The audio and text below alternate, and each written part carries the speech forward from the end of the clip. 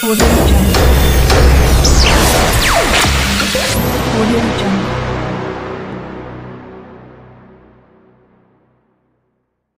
friends, glad to meet you through Tamil Top Chaya YouTube channel. If you are new to the channel today, subscribe, like, share and continue watching the channel. Let's go by video draft. Thanks to everyone who watched the video regularly. Thank you இன்றைய வேத வசனத்தை தியானிக்கப் போகிறோம். வாங்க தியானிக்கப் போகலாம்.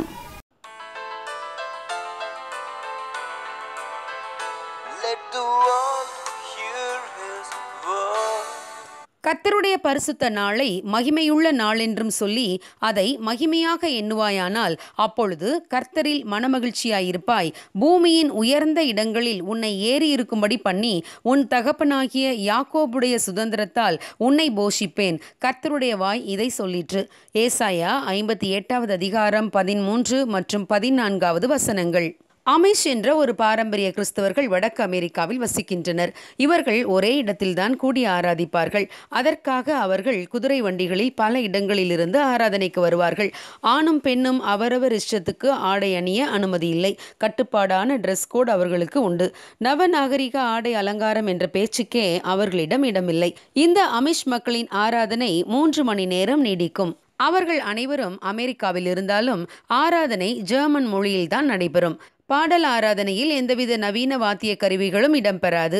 அந்த ஆராதனையில் இரண்டு அல்லது மூன்று செய்திகள் இருக்கும். செல்போன் ஒழிக்கும் சத்தமோ வேறு எந்த பிஏ சிஸ்டமோ இருக்காது. ஆனாலும் அவர்கள் அனைவரும் பயபக்தியாக ஆர்வத்தோடு ஆராதிக்கிறார்கள்.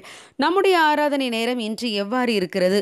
பெருந்தோற்று காரணமாக நம்முடைய வீடுகளில் இருந்தே ஆராதிக்கும் ஒரு நிலைக்கு நாம் தள்ளப்பட்டிருக்கிறோம். ஆனாலும் நாம் கூடி ஆராதிக்கும் அந்த நேரத்தில் நம் வீட்டிலும் நம் தேவ பிரசன்னத்தை உணர முடியும். உங்கள் சபையின் ஆராதனையோடு இணைந்து கொள்ளுங்கள். ஜூம் ஆப் மூலமாகவோ அல்லது யூடியூப் மூலமாகவோ நடத்தப்படும் ஆராதனை நேரங்களில் பயபக்தியோடும் முழுமையாகவும் பங்கிடுங்கள்.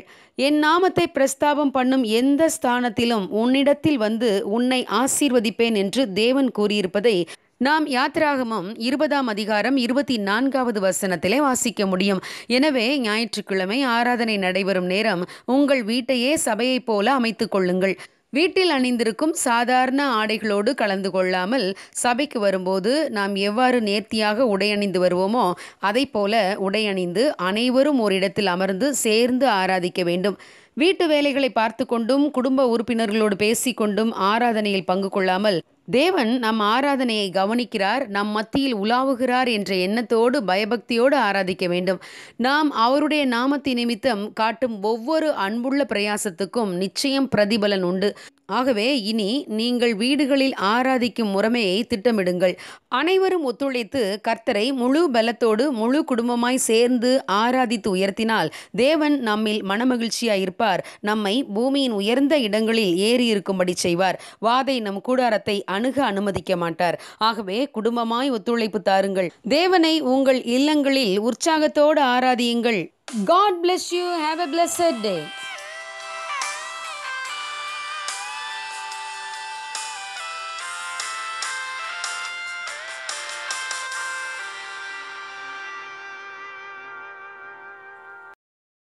friends, glad to meet you through Tamil Top Chaya YouTube channel.